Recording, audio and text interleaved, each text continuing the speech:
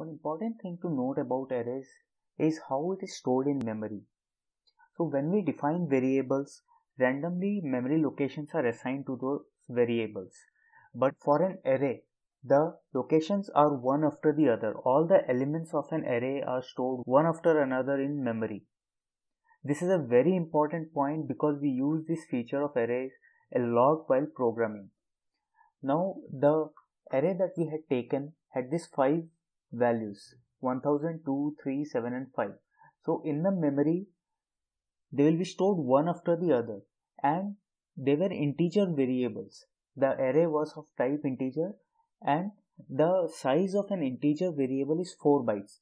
That is why if this address is 88830, this will be 88834, 88838, 88842 and 88846 with an offset of 4 because we have taken integer array.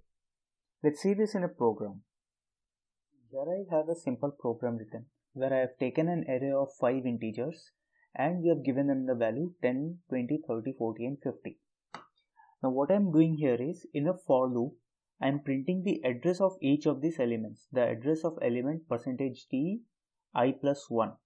So i plus 1 will print element 1, element 2, 3, 4 and 5 is equals to percentage %t that is here I am printing the address ampersand arr index of i.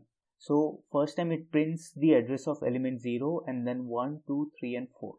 Let's run this program and see. So what we can see here is the address of element 1 that is this element.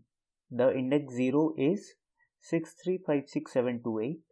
For element 2 it is 32 an offset of 4 and then it is 364044. So we can see here that the elements are arranged one after the other in memory. Now there is an offset of 4 because we have taken type integer if we take type character, we'll get an offset of 1 because character is of 1 byte. So let's make it character and let's not give it any value. Let's just keep it blank. Let's build this program and let's see the values.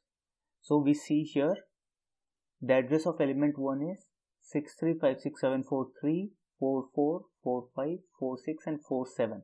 So we can see here that because we have taken an array of type character, the elements have an offset of 1 byte, uh, but they're still placed one after the other in the memory.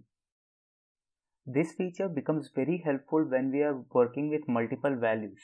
Let's say sensor values, where uh, for example we want to transmit value of 100 sensors so in that case, we can do something like we are passing only the first memory location of the array and we keep on incrementing the pointer. So once we increment, uh, let's say we get this value 6356743 and we increment this, we get 44. So we take this address and get the value. Then we increment this address, we get this and from this address we get the value. We'll see this in the next video.